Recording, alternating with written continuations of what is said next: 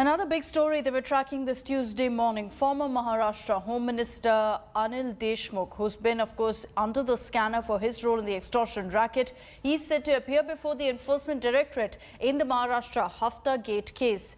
This comes after he skipped the first summon on Saturday. The Enforcement Directorate has claimed to have found clinching evidence to nail Deshmukh in the extortion case. The probe agency has alleged that former Assistant Police Inspector Sachin Vaze collected 4.7 crore rupees from orchestra bars in Mumbai.